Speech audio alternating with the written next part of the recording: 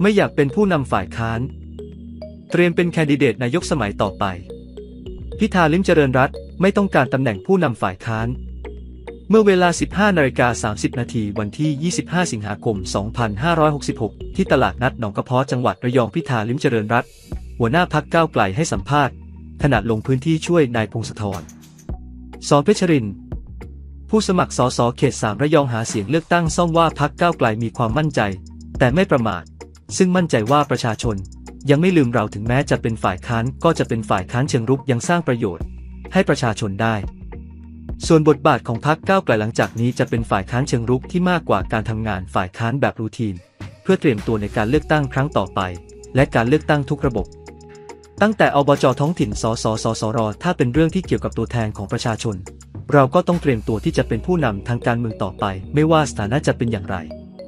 ผมไม่คิดว่าประชาชนเลือกผมมาเป็นผู้นำฝ่ายค้านฉะนั้นคิดว่า ไม่ได้เป็นตำแหน่งที่เราต้องการเราต้องเตรียมตัวเพื่อให้เป็นแคนดิเดตนายก ในการเลือกตั้งครั้งต่อไปน่าจะเป็นในมุมมองนั้นมากกว่า โดยจะเป็นบทบาทของพรรคก้าวไกล และบทบาทของผมในฐานะผู้นำพรรคพิธาลิมเจริญรัต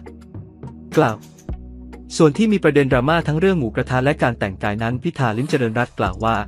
ก็ต้องเข้มแข็ง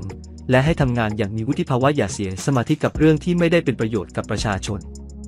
ผมเชื่อว่าเพื่อนของผมคนนี้มีจิตใจเข้มแข็งอยู่แล้ว เป็นสส เขตมาตั้งแต่อนาคตใหม่ ผ่านอะไรมาเยอะผมคิดว่าเขาเอาอยู่ นายพิธากล่าว เมื่อถามว่ามองหรือไม่ว่าเป็นเกมที่ถูกบีบ ในสภาหรือไม่นายพิธากล่าวว่า ก็เป็นเกม ในสภาไม่ได้บีบอะไร และตนไม่เชื่อว่านายปฏิพัฒน์จะรู้สึกอะไร นายพิธากล่าวถึงสภาพจิตใจของตนเอง และคนในพักด้วยว่าสำหรับตนเวลาลงพื้นที่ประชาชนก็บอกว่าอย่าเสียใจตนพูดได้เต็มปากเต็มคำ ตนภูมิใจมากกับสิ่งที่เราได้ทำด้วยกันตอนเริ่มทำแคมเปญก็บอกแค่ 30 เสียง